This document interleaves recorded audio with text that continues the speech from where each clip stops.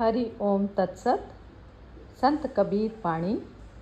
संत कबीर के प्रमाणिक ग्रंथ बीजक से लिए हुए यह पद और उसके बारे में ग्रुप डिस्कशन का स्वागत है। आज के सेशन में एसपी सिंह साहब, सरिता जी, कपिल जी विमी जी और विनोद जी।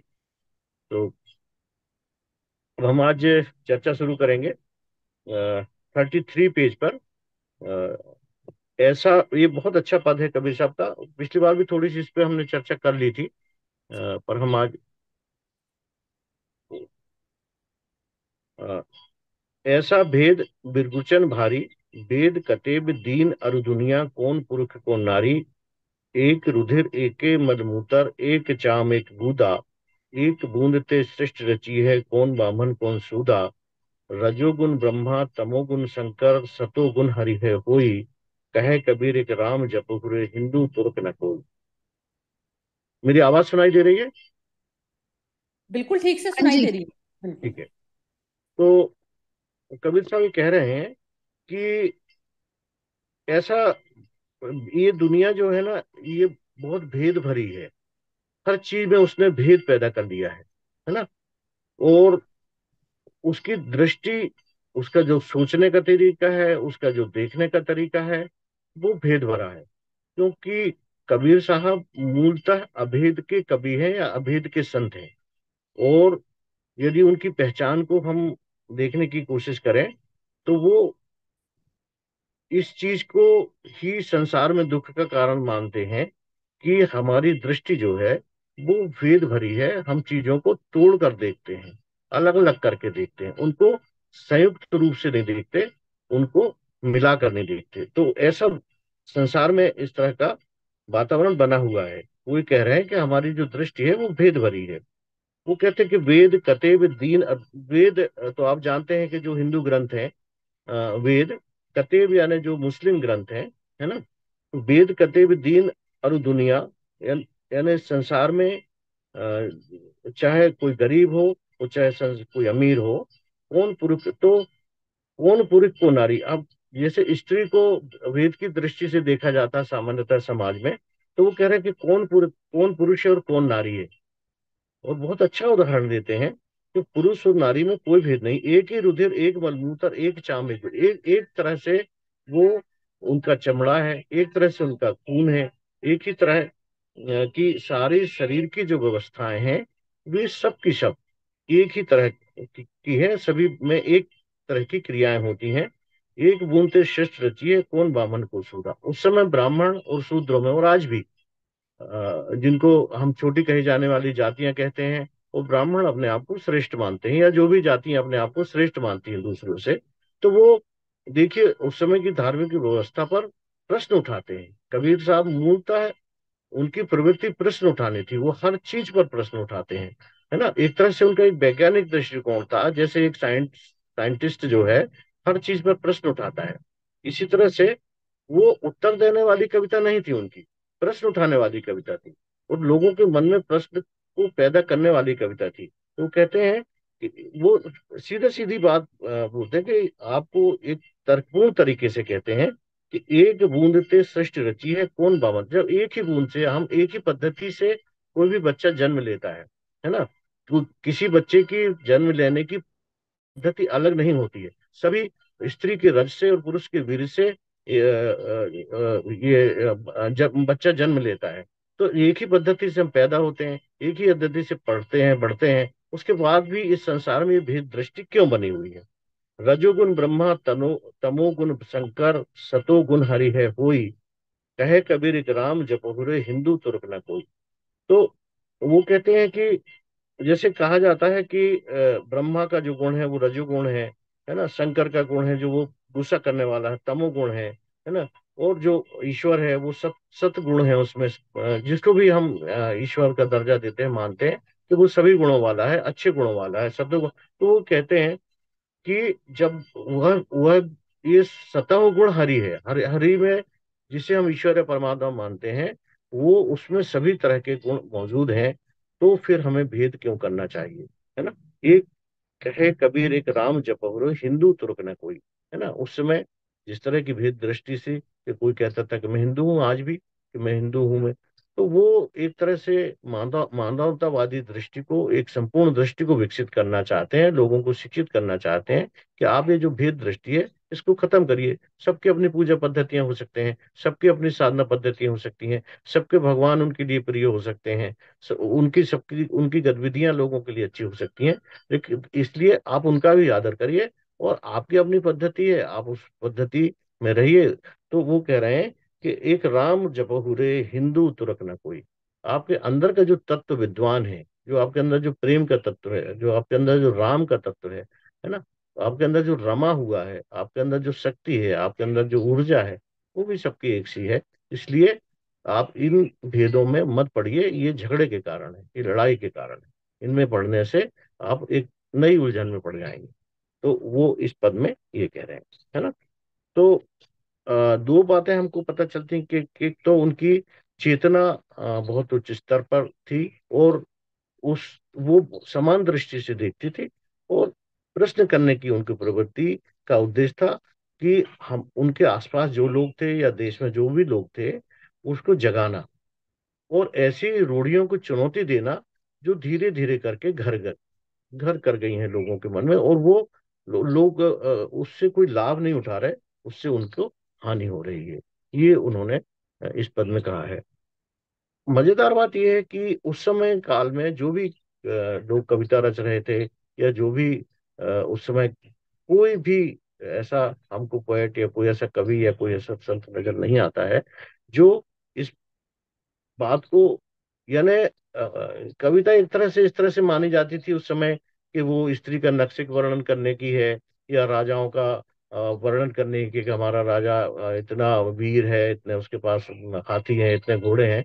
कविता का काम सामाजिक दृष्टिकोण से, समाज को जगाने के लिए कविता का काम यदि किसी ने किया तो कबीर साहब ने उस समय किया कि उन्होंने हालाँकि वो मूलतः कवि नहीं थे यानी कविता करने के लिए वो कोई अपनी बातें नहीं कह रहे थे लेकिन उन्होंने इस माध्यम से एक ऐसी गुंजाइश निकाली कि ये सारी सामाजिक बातें वो अपने इन पदों में कह सके। तो उन्होंने मतलब उन बातों को छुआ जो एक मनुष्यता के लिए आ, मुश्किलें पैदा करती हैं। और उन्होंने आ, प्रेम को बहुत बड़ी चीज़ मानी एक दूसरे को मिलने को, जुलने को, प्रेम को उन्होंने बहुत बड़ी चीज़ मानी, है ना? तो एक ये है। फिर अगला पद इनका आता फिर देखिए, फिर सवाल कर रहे हैं। ये, जो खुदाए मस्जिद बसतु है तो और मलकू कहे केरा। वो उस समय सिकंदर लोदी का राज था और मुस्लिम राज था पूरे देश में, लेकिन वो एक प्रश्न उठाते हैं कि यदि तुम्हारा खुदा मस्जिद में रहता है तो सारे मुल्क में कौन रहता है? सारे मुल्क में नहीं रहता क्या वो?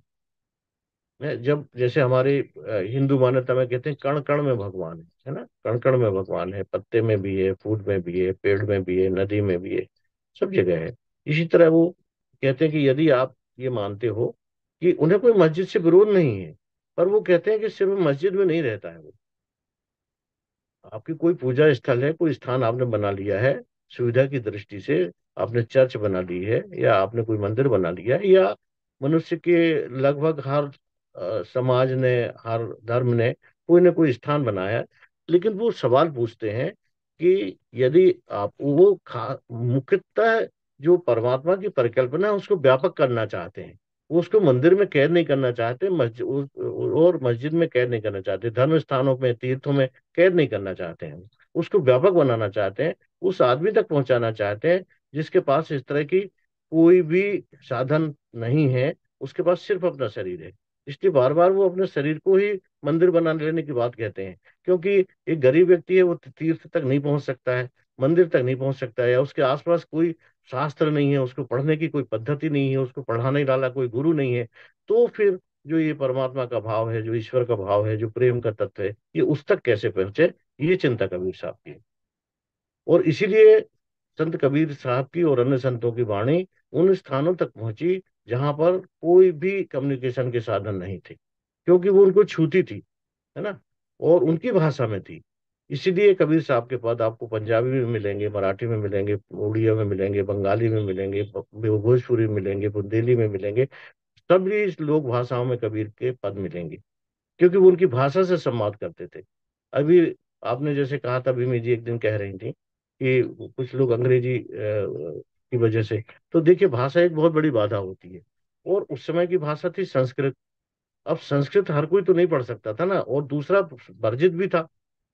ये कोई भी आदमी यदि छोटी कही जाने वाली जाति का है और वो जाना चाहे किसी पाठशाला में तो वो वर्जित थी। वहाँ पे अरबी थी, उर्दू थी। तो वो इस तरह की जो धर्म की भाषा थी, वो उन भाषाओं तक पहुँच पाना हर एक आदमी के लिए मुश्किल था। स्त्रियों के लिए शास्त्र वर्जित थे। तो अब स्त्रियाँ कैसे भाई यदि स्त्रियों को ईश्वर को प्राप्त करना है, परमात्मा के बारे में जानना है, अपने आत्म तत्व के बारे में जानना है, साधना करना है तो कहाँ जाएँगी? तो उन्होंने उन्होंने इसलिए बात, ये सवाल उठाया। और ये बहुत बड़ा सवाल था, क्योंकि ये ये जो धर्म सत्ता में बैठे लोग हैं, उनको बहुत बेचैन करता था। तो उन्होंने कहा, जो खुदा है, मस्जिद बसत, और और यदि और और मुल्क में कौन है फिर? कि और मुल्क में खुदा नहीं है? ये सवाल उठाते हैं तीरथ मूरत राम निवासी बाहर करे कोहेरा। वो वो यही बात वो हिंदुओं से कहते हैं यदि तीरथ में ही ईश्वर बैठा हुआ है परमात्मा बैठा हुआ है, है तो फिर बाहर क्या है फिर? बाहर बाहर ईश्वर नहीं है क्या? क्या उसकी सत्ता नहीं है क्या? वो तो फिर जगत कैसे चल रहा है? यदि कोई ईश्वरीय सत्ता नहीं है तो फिर ये पूरा जो संसार है ये किस तरह से चल रहा है? बिना ईश्वर के बिना परमात्मा के चल रहा है क्या? यदि आप ऐसा मानते हैं है ना ये सवाल वो उठाते हैं। तो उनके जो प्रश्न थे, वो उच्च वर्ग और उनकी जो नैतिक मान्यताएँ उस समय बन गई थी उस तो वो बख्शे उधेड़ दबा देते। वो विचित्र तिल में ला जाते थे उनके इस प्रश्नों से, क्योंकि एक लंबे समय से बहुत सी अवधारणाएँ बन जाती हैं। हम उसको ऐसा समझने लगते हैं कि बस यही सत्य है। तो जब वो उसको सवाल उठाते थे तो बहुत सारे लोग, और यही बात, देखिए जैसे इसमें एक रेफरेंस आया सुकरात के जैसे वो अज्ञानी बनकर प्रश्न करते हैं। कभी कभी वो पंडितों मुल्लाओं के ज्ञान की पोल खोल देते हैं, है ना? जो सुकरात भी ऐसा करते थे और कई हमारे कन्फ्यूशियस थे, नित्से थे, ये जितने भी फिलोसफर थे, ये बड़े बड़े रहस्यमय ढंग से और उनके जो भ्रामक विचार हैं, उनको तोड़ने के लिए बहुत कुछ ऐसी घटनाएँ करते थे, है ना? जैसे कन्फ्यूशियस के जीवन का एक उदाहरण है कि वहाँ कोई जाता था स्त्रियाँ जाती थी मूलतः तो वो उ- उनको कुछ अपनी अंगूठी कुछ ऐसा भेंट दे देती थी। तो वो फिर जाते थे और अपने दूसरी कोई और कुछ सामग्री उनको दे देते थे। अब ये प्रचलित हो गया था कन्फ्यूशियस के टाइम में कि अरे ये तो बड़े ये हैं अपन अंगूठी देते हैं तो चेन वापस कर देते हैं हमको सोने की। उनके पास अ, लोग जाते थे कुछ ना कुछ कुछ ना कुछ कुछ ना कुछ उनको दे देते थे। अब लेकिन वो कभी कभी क्या करते थे कुछ भी वापस नहीं करते थे। अब बैठ के देखते थे लोग अरे ये तो ये, ये तो कुछ ना कुछ हमको देने वाले थे वापस करने वाले थे। तो वो इस धारणा को तोड़ना चाहते थे कि आपने यदि ऐसी कोई भी धारणा बना ली है कि हाँ कन्फ्यूशियस के पास जाओ तो कुछ ना कुछ देता है उसको वो तोड़ना चाहते थे। कबीर साहब भी ऐसी बहुत सी रहस्यमय बातें करते हैं कई बार। आपके विचारों की श्रृंखला को तोड़ते हैं सवाल पैदा करते हैं और ऐसे सवाल पैदा करते हैं जिससे व्यक्ति खासकर पाखंडी व्यक्ति तिल मिला जाता है है ना? तो ये उनकी एक खासियत थी, है ना? और इसीलिए उनकी जो वाणी है, उनके जो पद हैं, ये पूरे देश में फैले। और अब विदेश में भी बहुत ज़्यादा रुचि बढ़ी है। अभी अमेरिका में, हॉलैंड में, पोलैंड में फिजी में, मॉरिशस में और दुनिया के अन्य देशों में भी कबीर साहब की इन वाणियों के प्रति काफ़ी रुचि फैली है। उसके दो मुख्य कारण हैं। एक तो साफ़ साफ़ बात कहते हैं। तर्कपूर्ण बात कहते हैं प्रश्न उठाने वाली बात कहते हैं और साइंटिफिक टेम्पर की बात करते हैं। ये इसलिए उनकी ये वाणी दिन प्रतिदिन फैलती जा रही है बढ़ती जा रही है और लोगों में रुचि जागृत होती जा रही है। अब मूलतः कबीर साहब की चिंताएँ क्या अ, मेरे ख्याल से सुरेश जी आपने ये थर्टी सॉरी सुरेश जी ये थर्टी फाइव मुझे लग रहा है कि मैंने वो गलत कह दिया थर्टी फाइव भी हमने कर लिया था। ये अच्छा लोकमती वाला भी और अब मुझे ध्यान आ रहा है वो नाभा अच्छा। दास ने भक्त आज तो हाँ आपने अच्छा नाभा अच्छा अच्छा। दास का भी अच्छा ये भी हो गया था। हिंदू भी दे सकते हैं ना? चलिए ठीक है। अब हाँ क्योंकि आपने वो बताया था कि यही मगहर का वो गधा हाँ हाँ हाँ हाँ ना? हाँ हाँ जैसे वो तो बनारस में स्वर्ग का कहते थे और हाँ फिर अपन पढ़ पढ़ के पत्थर हुआ लिख लिख हुआ जो ईंट कहे कबीरा प्रेम की लगी नहीं को छीट है ना? है ना? इस पे आए। यहाँ से शुरू करें। हाँ बस हाँ अभी तीन चार है दो तीन पद है। ठीक है सरिता जी थर्टी सेवन वाला। है? कौन सा हाँ जी। हाँ थर्टी सेवन पेज पर ही। हाँ सुखिया थर्टी सम वो आगे हाँ ना पड़ी पड़ी के पत्थर। हाँ पढ़ पढ़ हाँ एक हाँ मनोरंजक बात यह है कि यहाँ पर पढ़ पढ़ के पत्थर हुआ भया लिख लिख हुआ जो ईंट कहे कबीरा प्रेम की लगी न एक चीट है ना? पोथी पढ़ पढ़ जग मुआ पंडित भया न कोय ढाई आखर प्रेम का पढ़े सो पंडित होए। अगला मतलब इसमें दो दो लाइनें हैं लेकिन ये पूरा पद इस तरह से है। और बड़ा महत्वपूर्ण पद है। अ, वो इस पे भी हालाँकि थोड़ी बातचीत हो चुकी है अपनी इसके पहले लेकिन फिर भी अब अपने पास अभी आठ मिनट हैं है ना? अपन इसको आज समाप्त करते हैं। तो अ, पढ़ पढ़ के पत्थर भया लिख लिख भया जो ईंट है ना? अब ईंट से तात्पर्य क्या है? कि करीब कबीर साहब के जन्म काल के समय, जो शिक्षा की पद्धति थी, है ना? शिक्षा की पद्धति थी तो सब जगह एक कॉपी, किताब, पेन उपलब्ध नहीं होते थे, बहुत दुर्लभ थे, है ना? बहुत जिस तरह से आज उपलब्ध है, ऐसे नहीं होते थे। तो अक्षर ज्ञान कराया जाता था कि जो ईंट है, उसका चूरा बना दिया जाता था, है ना? और उसको ज़मीन पर बिछा दिया जाता था। और बिछाने के बाद जैसे आ आ, जो हम अक्षर लिखते हैं, उस पर उंगली से लिख के सिखाया जाता था, है ना? इसलिए उन्होंने ईंट का प्रतीक लिया है। कबीर साहब एक ऐसे संत हैं जो ऐसे प्रतीकों से बात करते हैं जो आपके आसपास मौजूद हैं और जिनकी बारे, जिनके स्वभाव के बारे में, जिनके प्रतीकों के बारे में आप अच्छी तरह से जानते हैं। जैसे लोग पूछते थे कि अच्छा आप कहते हो कि मंदिर में नहीं है, मस्जिद में नहीं है तो ईश्वर आसमान में नहीं है, चाँद में नहीं है, सूरज में नहीं है तो कहाँ है?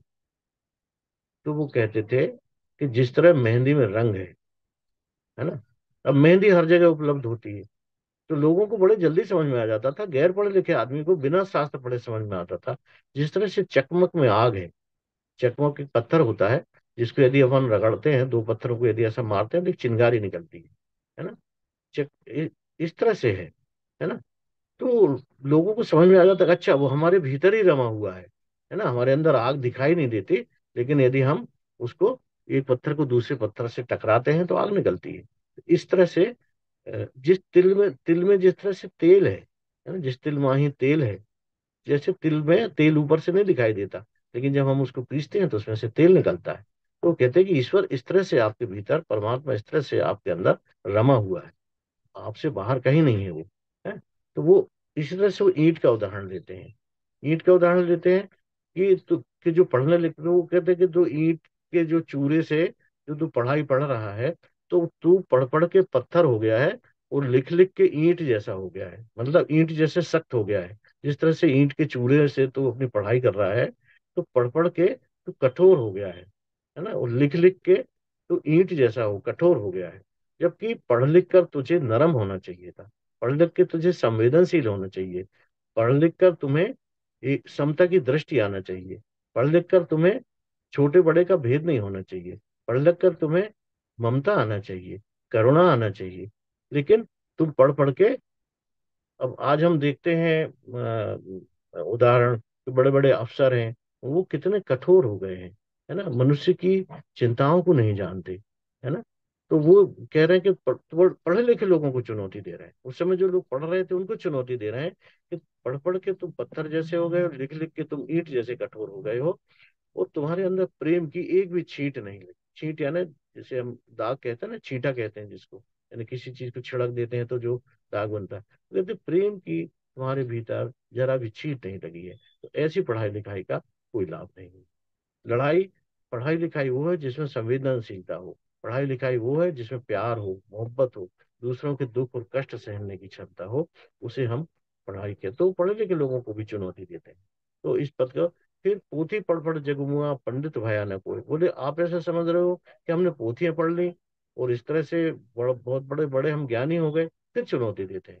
क्योंकि उस समय पोथियाँ होती थी लोगों के पास तो पोथी पढ़ पढ़ तो यहाँ तो उन लोगों को कहते हैं जो पढ़ने की प्रक्रिया में थे और यहाँ उन लोगों को कहते हैं कि पोथी, जो बड़े विद्वान हो गए थे पोथी पढ़ पढ़ जगमुआ पंडित हुआ ना कोई। तो ये पोथियों को पढ़ने से आप पंडित होंगे ढाई अक्षर प्रेम का तो जो आपने प्रेम जब अपन लिखते हैं तो ढाई अक्षर होते हैं उसमें। तो ढाई अक्षर प्रेम का यदि आपने पढ़ लिया है, पंडित वही। है वो कहते हैं कि आपके इस तरह से, ये तो तोता जैसे रटन दबाते हैं कि आपने कुछ पढ़ लिया, कुछ रट लिया, कुछ बोल दिया, है ना? और ये ये ज्ञान नहीं है। ज्ञान तो आपके अंदर से उपजता है। है उन्होंने तब में कहा ना प्रेम न बाड़ी उपजग, प्रेम न हाट बिकाए। प्रेम जो है कि आपके घर के आसपास जो बाड़ी होती है, उसमें उग तो नहीं उगता है, बाज़ार में भी नहीं मिलता है है ना? है? ये भी उन्होंने उन्होंने कहा, है ना? और कहा कि उसके लिए शीश काट, शीश काटना पड़ता है। शीश काटने का मतलब सिर काटना नहीं है, सिर काटने का मतलब है अहंकार। अहंकार को माना गया है कि वो हमारे सिर में होता है, मस्तिष्क में होता है। तो उन्होंने कहा कि, राजा प्रजा जी रुचे शीश काट ले, उसको अपने अहंकार को नष्ट करना पड़ेगा, प्रेम तब मिलेगा। तो ये बात उन्होंने कही, और फिर आगे वो कह रहे हैं, सुखिया सब संसार है, खावे और सो दुखिया दास कबीर है, जागे और रोगे तो कबीर साहब को सब कहने की क्या ज़रूरत थी? कबीर तो हर जागने वाले आदमी के साथ है है ना? आप यदि सरिता जी हैं, या कपिल जी हैं, या बिमी जी हैं, या विनोद जी हैं, या एसपी साहब हैं इनको क्या पड़ी है कि शनिवार को सवेरे आए या रोज आए, पंद्रह मिनट बात करें, है ना? ठीक है, सबकी अपनी दुनिया है, सबको ईश्वर की कृपा से सब कुछ साधन संपन्न है, लेकिन कबीर साहब को पढ़ें, लिखें, समझें, ये क्या ज़रूरत ये ये पीड़ा उन सब लोगों की है जो इस संसार को जागरूकता लाना संसार में जागरूकता लाना चाहते हैं, लोगों को जगाना चाहते हैं, खुद भी जगना चाहते हैं खुद भी प्रकाशवान होना चाहते हैं उस प्र, उस प्रकाश से दूसरों को भी उजाला हो ऐसे जिनके अंदर प्रेरणा होती है ऐसे जिनके अंदर प्रयास होता है। वो लोग सवेरे से लिंक साझा करेंगे सुरेश जी से बात करेंगे फिर आपस में चर्चा करेंगे। ये सब आपके भीतर जो चीज़ें हैं ये कबीर साहब के इस पद में कि सुखिया सब संसार है। आज संडे का दिन है सोएँगे नौ बजे तक खाए और सोए। दुखिया दास कबीर है। तो आप वो सवेरे पाँच बजे से चिंता हो उठ बैठती है कि हम सत्संग को सुने, सत्संग को जाने दुखिया दास कबीर वो हर उस आदमी के लिए कहते हैं जो लोग कहते कि, अरे, हम तो इसमें बहुत दुखी हो गए। कबीर साहब कहते हैं कि, आप यदि जन जागरूकता के लिए जागेंगे तो आपको दुख उठाना पड़ेगा। जागे और रोगे है ना? वो दुखी है। इस संसार की दशकें हमने इस संसार को ऐसा बना लिया है। उस समय की स्थितियों को वो देखते हैं। हम उस समय की ऐसी स्थितियों को देखते हैं जहाँ कपास पैदा करने वाला किसान जो है उसके बच्चे के तन पर कपड़े नहीं है। मटका बनाने वाले कुम्हार जो है जो सारे संसार को मटके बनाता है घड़े बनाता है कुंभ बनाता है और वो पानी पिलाता है। गर्मी में जिसमें पानी ठंडा रहता है ठंड में पानी गर्म रहता है एक एक कंकड़ उसके बीनता है और वो खुद टूटे मटके में पानी पीता है। वो उसके लिए चिंतित होते हैं कि जो जूते बनाता है उसके खुद के पैरों में जूते नहीं है, है?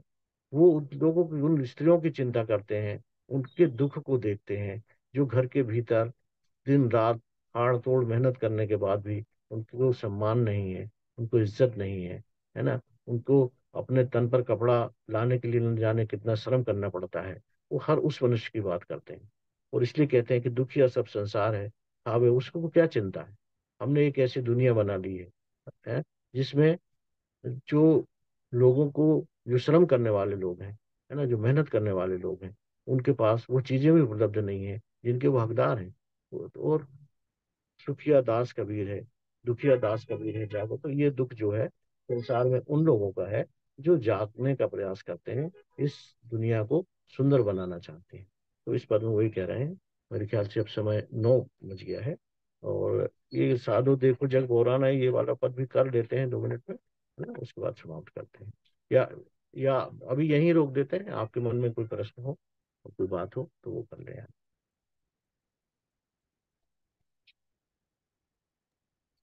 हाँ। जी ये जो आपने आ, ये पड़ी पड़ी के पत्थर भया इसमें जी। जब आप बता रहे थे सुरेश जी तो मुझे वही ध्यान आना था कि आ, जैसे जब तक मोदी जी नहीं आए थे तो दिल्ली में ज़्यादा ये होता था कि जो लुटियंस दिल्ली वाले हैं जो हम्म हम्म। इंग्लिश स्पीकिंग बाहर से पढ़ के आए हैं और उन्हें हम्म। ही वो जैसे पूरे जग ज्ञाता है उन्हें ही सब कुछ मालूम है और जब मोदी जी आए तो बहुत वो हुआ कि जी ये तो पढ़े लिखे नहीं है इनकी वही डिग्री नहीं है जो भी कुछ वो भी बहुत कुछ हुआ उसके ऊपर भी उछाला गया।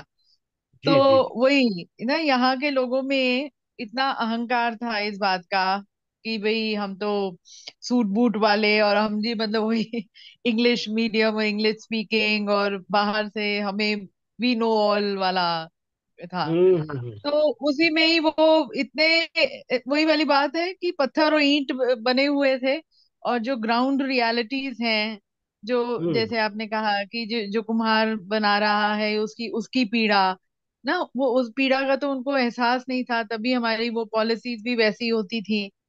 और तो काफ़ी वो बदला कि क्योंकि आ, हम वैसे अपनी चर्चाओं में मोदी जी को बहुत डिस्कस करते हैं क्योंकि कहीं ना कहीं हमें कई बातें मतलब ठीक है पर नब्बे परसेंट तो हमें अच्छा ही लगता है। तो आ, उसमें और वही यही है कि जन जागरूकता लाने के लिए वो दुख तो सहना पड़ेगा ही। यदि किसी की पीड़ा को आप नहीं समझ पाए हम्म, हाँ पीड़ा को समझोगे तभी आ, उसको महसूस करोगे। उसका खुद तुम्हें आभास होगा तभी तुम आगे कुछ अ, उसके लिए ये कर पाओगे। तो वो मुझे लगे वही जब सुखिया सं, सं, संसार है तो वही मोदी जी को क्या ज़रूरत है? सुबह उठ के अ, इतनी जल्दी उठ के पूरा दिन अठारह चौबीस घंटे जो भी वो अपना देते हैं तो क्या बिल्कुल। ज़रूरत है? तो वो दुख को पीड़ा को महसूस कर रहे हैं तभी बदलाव ला रहे हैं और तभी ये देश बदल रहा है। तो बिल्कुल वही आ बिल्कुल। जाता है। बिल्कुल बिल्कुल आप ठीक बात कर रही हैं कि ये जो भी जिसको पीड़ा होगी वो सब तरह की आलोचना सहन करेगा। आ, सभी तरह के उसके पास प्रहार होंगे उसकी बदनामी होगी उसको लोग न जाने क्या क्या बातें कहेंगे ये सबके साथ हुआ। है ना? बदलावकारी व्यक्ति को सबसे पहले अपमान के लिए तैयार हो जाना चाहिए कि सबसे पहले तो उसकी कोई नहीं सुनेगा, है ना? और उसको मूर्ख कहेंगे, कोई उसकी आलोचना करेगा।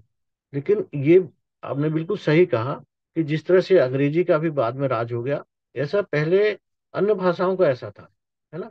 तो उस पर वो प्रहार कर रहे हैं। और ये देखिए, अंग्रेजियत के कारण हमारे देश में यही हुआ कि जो लोग पत्थर जैसे लोग थे, कठोर जैसे लोग थे, ठीक है, एक भाषा उनको आती है, उसकी वजह से उन्होंने वर्चस्व सा कायम कर लिया था या कर लिया है है ना? लेकिन निश्चित रूप से उसको तोड़ना चाहिए। अभी देखिए हिंदी मीडियम में बहुत सारी पढ़ाई आ रही है। भाषा, इसलिए इसलिए तो तुलसीदास भी लोक भाषा पर गए, कबीर लोक भाषा पर गए रसखान लोक भाषा पर गए, इसलिए गए कि हमारे जो कम्युनिकेशन है, वो जब तक हम लोगों की ज़ुबान में नहीं बोलेंगे। गुरु नानक साहब हैं, पंजाबी में गए, हैं। तो जब तक हम उनकी लोक भाषा में बात नहीं करेंगे तो बड़ी बात होती है कि हमारा संवाद जब तक हम उस भाषा में नहीं होगा, और इसमें भी कोई बुरा नहीं है। जो लोग अंग्रेज़ी को समझते हैं, वो अंग्रेज़ी में संवाद करें। जो लोग जिस भाषा में समझते हैं, उस भाषा में संवाद करें। तो ये इस चीज़ को तोड़ने के लिए उन्होंने ये बात कही कि जिस तरह से कोई ज़्यादा पढ़ लिख के या पोथी पढ़ के कोई सोचता है कि मैं बहुत बड़ा ज्ञानी हो गया हूँ और यदि उसके मन में प्रेम नहीं है तो उसका ज्ञान किसी काम का नहीं तो इस इस वजह से कबीर साहब इस बात को कहते हैं। और आगे भी देखिए इस पंक्ति में भी कह रहे हैं साधो देखो जग बोराना सांच कहो तो मारन धावे झूठे जग पतियाना। है, है? इसका मतलब यही कह रहे हैं वो कि ये जग एक तरह से बोरा गया है पागल हो गया है है ना? जो सांच कहता है उसको मारने डलते हैं और झूठ है उसकी देखी वाह वाही होती, है ना? वो कह रहे हैं कि साधो देखो जग बोराना सांच का हो तो मारन धावे, झूठे जग पतियाना, झूठे के पीछे लोग भाग रहे हैं और सच्चे कहने को मारने दौड़ते हैं। तो ये उन्होंने गुंजाइश निकाली सच्ची बातों को कहने की और उसके लिए जोखिम लिया और जोखिम लेने के कारण उनको प्रताड़ना सहन करना पड़ी, लेकिन उन्होंने अपनी बात पे वो अडिग रहे और अपनी बात को वो कहते रहे और उस कहने के पीछे सदैव उनका ये था ये दुनिया सुंदर बने और इसमें जो बाह्य आवरण छा गए हैं, वो निकले। तो हमारा प्रयास यही है कि हम उन आवरणों को धीरे धीरे दूर करें और आज के दिन जब हम अपने जीवन में जाएँ इस सेशन के बाद तो पढ़े लिखे होने के बावजूद भी जो भी हमारे मन में कठोरता है, चाहे हमारे साथ जो हमारे सहकर्मी काम कर रहे हों चाहे हमारे घरों में कोई सेवक काम कर रहे हों, चाहे बाज़ार में जाएँ तो क्या हम इसको प्रैक्टिकल कर सकते हैं कि कुछ दो चार लोगों के साथ अपने उस व्यवहार को परिवर्तित करने का प्रयास करें और फिर उसके परिणाम देखें? तो आप लोगों ने बहुत स्नेह से और बहुत प्रेम से इसको सुना। इसके लिए आपके प्रति मैं कृतज्ञ हूँ कि मुझे जो कुछ भी छोटा मोटा पढ़ने पढ़ाने का जो कुछ भी मिला मुझे लगता है ज़्यादा से ज़्यादा लोगों तक वो पहुँचे। तो आप सबको बहुत बहुत शुक्रिया। हाँ सरिता जी आप एंड करेंगे? हाँ नहीं बहुत ही सुंदर बोला। सुरेश जी के उसमें तो जैसे आ, कहते हैं ना ये खुद तो सागर के अंदर बैठे ही हैं हमें भी ले जाते हैं वहीं उनके गोते लगवाने के लिए। तो बिल्कुल ठीक है। बस मैं तो यही कहूँगी कि जैसे ये जो संसार की गंदगी होती है ना एक एक जैसे कहते हैं ना आवरण हम पहनते चले जाते हैं तो वो कोयला बनने की तरफ़ की यात्रा है। और डायमंड हम है ही तो बस वो होता है डायमंड रहकर कोयले के जो भी आपने आवरण ओढ़े हैं उनको संसार के लिए यूज़ करें बस। जैसे जो भी एजुकेशन ली है या जो भी कुछ आपने डिग्री ली या शरीर धारण किया तो वो सारा चीज़ें जो यूटिलाइज होनी है वो सत्य के प्रति होनी चाहिए बस।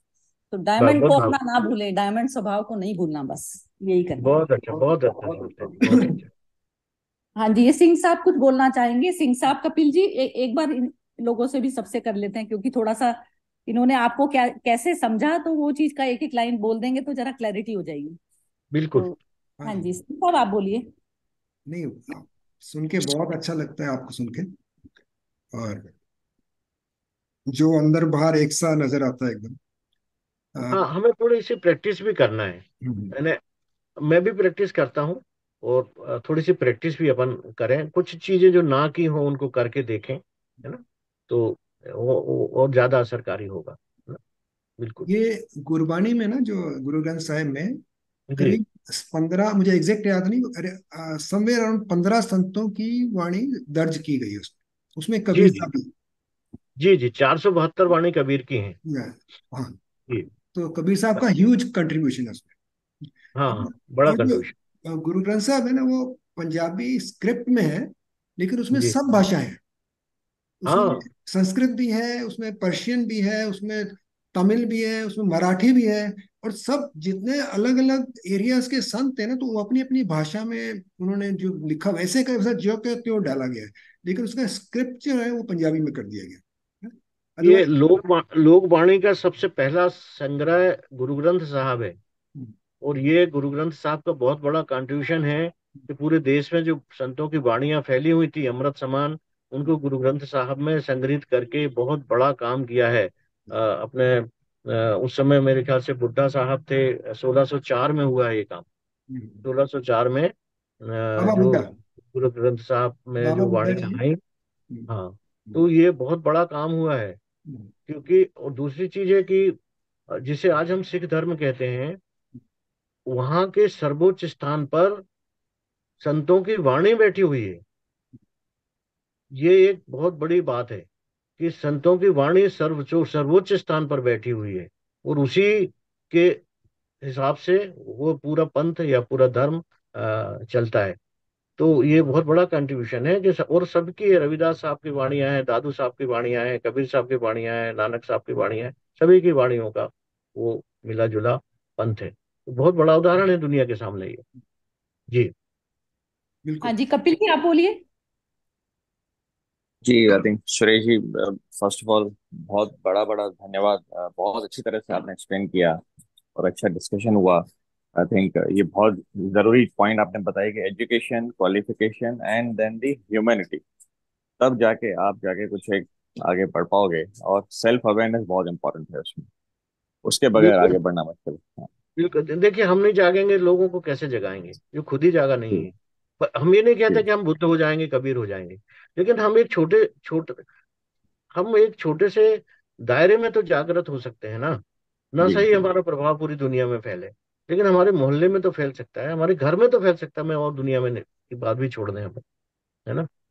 तो बच्चों बच्चों में के जो आज भी अभी आज के एजुकेशन सिस्टम में बस मैं इतनी बात कह के बंद करूँगा कि मैं कई स्कूलों में गया और जब मैं उनके बहुत बड़े उनके प्रिंसिपल से या उनके टीचर से बात करता हूँ कि शिक्षा के मायने क्या है तो वो रटी रटाई सी कुछ परिभाषाएँ उनके पास है ना, शिक्षा का मतलब ये है, फलाना है, ठिकाना है, ऐसा बताते हैं। मैं ये नहीं कहता कि वो अज्ञानी है, लेकिन शिक्षा का मूल मतलब है ज्ञान, संस्कार और कौशल। आपका नॉलेज हो, आपको संस्कार हो और आप में कौशल हो किसी काम को आप कर पाए। यदि तीन चीज़ों में से एक चीज़ का अभाव है तो आप शिक्षित नहीं है। यदि आप में संस्कार नहीं है तो भले आप कितने भी टेक्निकली स्ट्रांग हो, है ना, कितना भी आपको पुस्तकों का ज्ञान हो। लेकिन यदि संस्कार नहीं है आपके अंदर यदि करुणा नहीं है तो उस एजुकेशन का कोई मतलब नहीं होता। इसलिए ये जो त्रिवेणी है ज्ञान संस्कार और कौशल की ये तीन यदि कोई पढ़ा लिखा भी नहीं है यदि ये तीन चीज़ें उसमें है तो वो फिर शिक्षित है। जी जी बहुत बढ़िया। धन्यवाद। हाँ जी विनोद जी आप बोलिए। विनोद जी। हाँ जी हाँ यही जो पोथी पढ़ी पढ़ी जग हुआ जो समझाया तो उसका सही अर्थ समझ में आया। सुरेश जी बहुत बहुत धन्यवाद। ये पद का हम लोग मुझे मतलब अर्थ पता ही नहीं था कि मतलब पढ़ने से जो है इंसान को सॉफ्ट होना चाहिए और कुछ लोग उसको कठोर बन जाते हैं कि हम अलग श्रेणी में आ गए वगैरह वगैरह। और प्रेम की जो है एक बूंद पड़ते ही जो उसको वो नरम हो जाते हैं। जी और अभी आपने एजुकेशन की मीनिंग भी बहुत बढ़िया समझाई। ज्ञान संस्कार और कौशल बहुत बहुत अच्छा लगा। धन्यवाद धन्यवाद। मोना मोना तुम बोलो लास्ट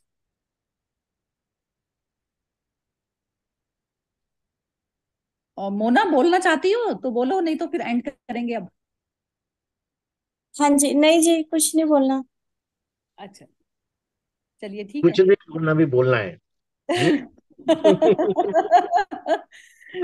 मोना ऐसी है कि कबीर साहब की एक बहुत सुंदर लाइन है कि बोलना कासोरे भाई बोला थी सब तत्व तो नसाई क्या मतलब हुआ इसका इसका एक्सप्लेन कीजिए आप वो कहते किससे बोलो? क्या बोलो? बोलने से बोलने के बाद सब तत्व नष्ट हो जाते हैं। जो हमारी अनुभूति है ना बोलने में उतनी बोलने में बोलने में हम कितना बोलेंगे? उस चीज़ को नहीं पा सकते जो अनुभव में है। हाँ, तो मोना मोना जी को जो अंदर जो अनुभव है ना वो देख क्या बोल रहा? उन्होंने एब्जॉर्व कर लिया पूरा। हाँ, हाँ। एक और गुरबानी में एक शब्द है उसमें मुझे एग्जैक्ट याद नहीं लेकिन गूँगे की मिठाई है जो गूँगे की मिठाई बोलते हैं। हाँ। गूँगा जब मिठाई खाता है हाँ। तो बोल नहीं पाता है कि कैसा है टेस्ट उसका। हाँ कैसे बताऊँ? लेकिन, लेकिन उसको खुद को पता है। हाँ गूँगे केरी शर्करा खाए खाए मुस्काए। हाँ। वो खा के मुस्कुरा सकता है बस है ना? चलिए बहुत अच्छा बहुत अच्छा। बहुत आप लोगों को प्रणाम और बहुत बहुत धन्यवाद सुरेश जी बहुत सुंदर। हाँ जी थैंक यू वेरी मच जय श्री कृष्ण। धन्यवाद श्रेष जी श्री। कृष्ण। जय श्री कृष्ण जय श्री कृष्ण